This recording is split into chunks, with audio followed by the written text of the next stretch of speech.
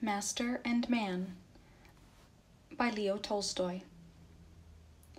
Vasily Andreevich went over to his sledge, found it with difficulty in the darkness, climbed in, and took the reins. Go on in front, he cried. Petrushka, kneeling in his low sledge, started his horse. Mukhorty, who had been neighing for some time past, now scenting a mare ahead of him, started after her, and they drove out into the street. They drove again through the outskirts of the village, and along the same road, past the yard where the frozen linen had hung, which, however, was no longer to be seen, past the same barn, which was now snowed up almost to the roof, and from which the snow was still endlessly pouring past the same dismally moaning, whistling, and swaying willows, and again entered into the sea of blustering snow raging from above and below. The snow was so strong that when it blew from the side and the travelers steered against it, it tilted the sledges and turned the horses to one side. Petrushka drove his good mare in front at a brisk trot and kept shouting lustily. Mukhorty pressed after her. After traveling so for about ten minutes, Petrushka turned round and shouted something. Neither Vasily Andreevich nor Nikita could hear anything because of the wind, but they guessed that they had arrived at the turning. In fact, Petrushka had turned to the right, and now the wind that had blown from the side blew straight in their faces, and through the snow they saw something dark on their right. It was the bush at the turning. Well, now, Godspeed you! Thank you, Petrushka. Storms with mist the sky conceal shouted Petrushka as he disappeared. There's a poet for you, muttered Vasily Andreevich, pulling the reins. Yes, a fine lad, a true peasant. They drove on. Nikita, wrapping his coat closely about him and pressing his head down so close to his shoulders that his short beard covered his throat, sat silently, trying not to lose the warmth he had obtained while drinking tea in the house. Before him he saw the straight lines of the shafts which constantly deceived him into thinking they were on a well traveled road, and the horse's swaying crupper with his knotted tail blown to one side, and farther ahead the high shaft bow, and the swaying head and neck of the horse with its waving mane. Now and then he caught sight of a way sign, so that he knew they were still on a road, and that there was nothing for him to be concerned about. Vasily Andreevich drove on, leaving it to the horse to keep to the road. But Mukhorty, though he had had a breathing space in the village, ran reluctantly, and seemed now and then to get off the road, so that Vasily Andreevich had repeatedly to correct him. Here's a stake to the right, and another, and here's a third, Vasily Andreevich counted. And here in front is the forest, thought he, as he looked at something dark in front of him but what had seemed to him a forest was only a bush. They passed the bush and drove on for another hundred yards, but there was no fourth waymark, nor any forest. We must reach the forest soon, thought Vasily Andreevich, and animated by the vodka and the tea, he did not stop, but shook the reins, and the good obedient horse responded, now ambling, now slowly trotting in the direction in which he was sent, though he knew that he was not going the right way. Ten minutes went by, but there was still no forest. There now, we must be astray again, said Vasily Andreevich, pulling up.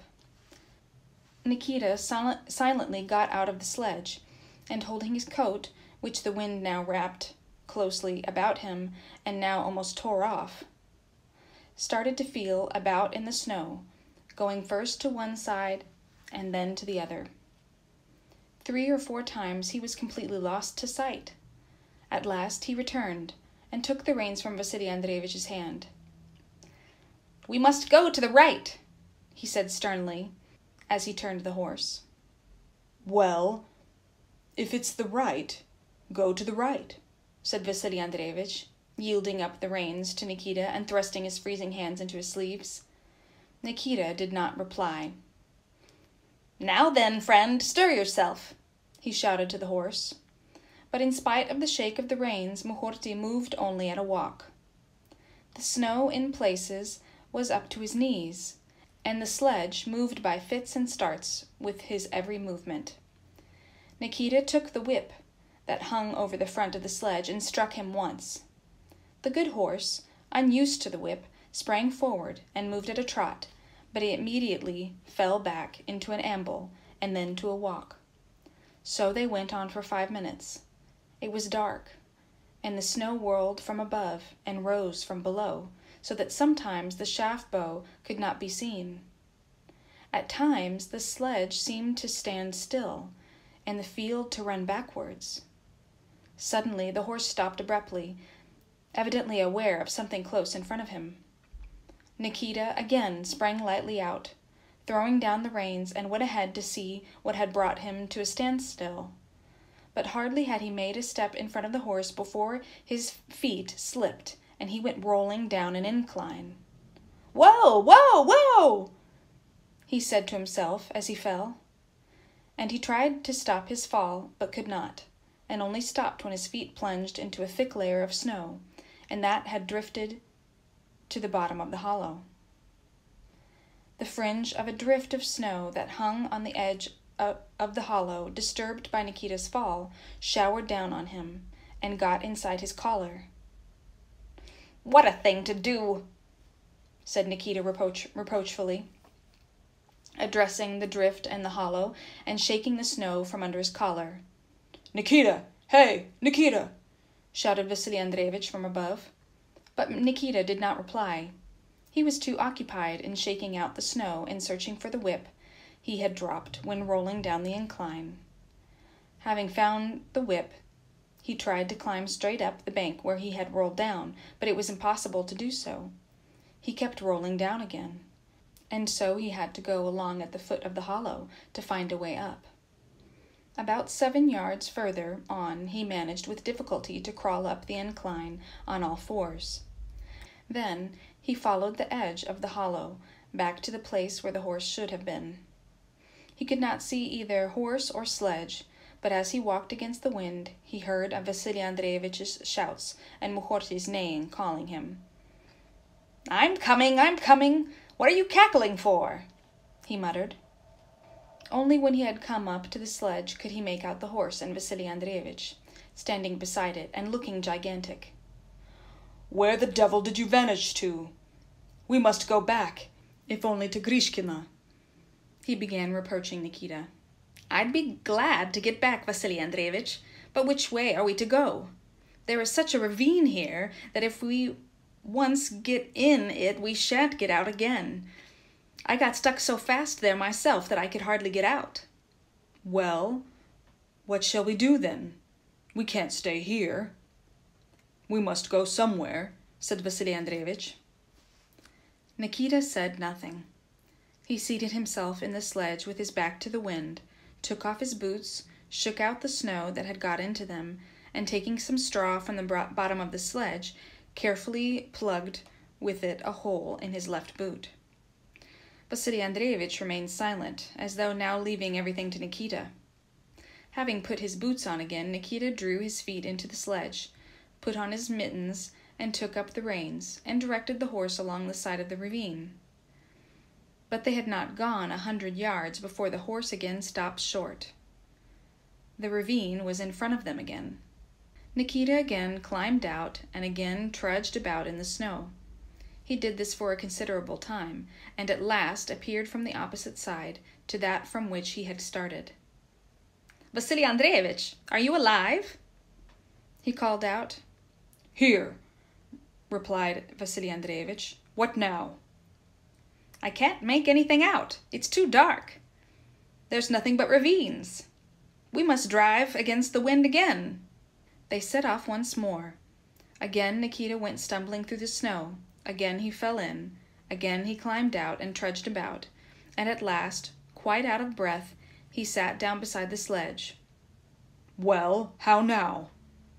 asked Vasily Andreevich. Why, I am quite worn out, and the horse won't go. Then what's to be done? Why, wait a minute. Nikita went away again, but soon returned. Follow me, he said, going in front of the horse. Vasily Andreevich no longer gave orders, but implicitly did what Nikita told him. Here, follow me, Nikita shouted. Stepping quickly to the right and seizing the rein, he led Mukhorty down towards a snowdrift. At first, the horse held back. Then he jerked forward, hoping to leap the drift, but he had not the strength and sank into it up to his collar. Get out!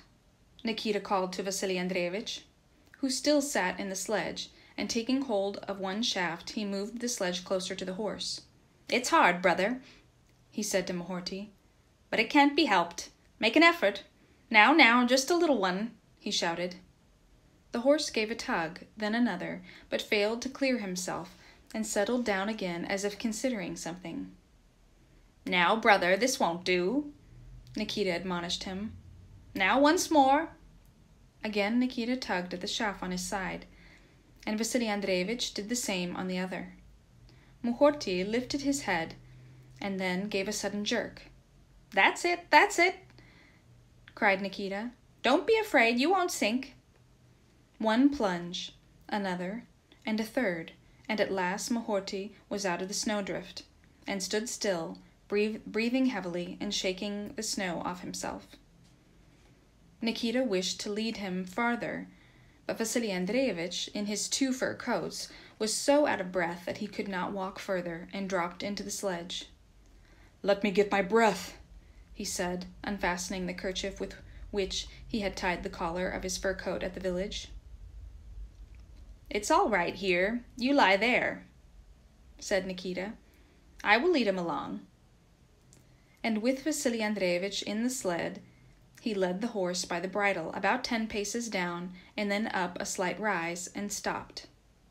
The place where Nikita had stopped was not completely in the hollow where the snow sweeping down from the hillocks might have buried them altogether, but still it was partly sheltered from the wind by the side of the ravine. There were moments when the wind seemed to abate a little, but that did not last long and as if to make up for that respite, the storm swept down with tenfold vigor, and tore and whirled the more fiercely. Such a gust struck them at the moment when Vasily Andreevich, had, having recovered his breath, got out of the sledge and went up to Nikita to consult him as to what they should do. They both bent down involuntarily and waited till the violence of the squall should have passed. Mukhorty, too, laid back his ears and shook his head discontentedly.